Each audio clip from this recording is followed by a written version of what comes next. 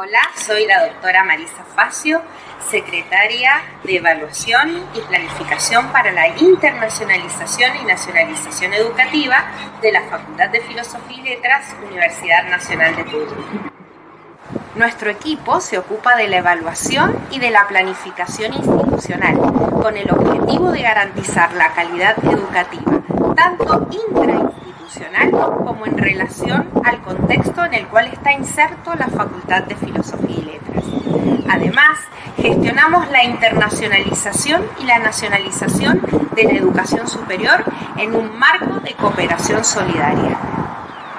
como equipo comprometido con la cooperación solidaria, los invitamos a estudiantes, egresados, docentes, investigadores, gestores y a toda la comunidad universitaria de América Latina y el Caribe, de Argentina, a participar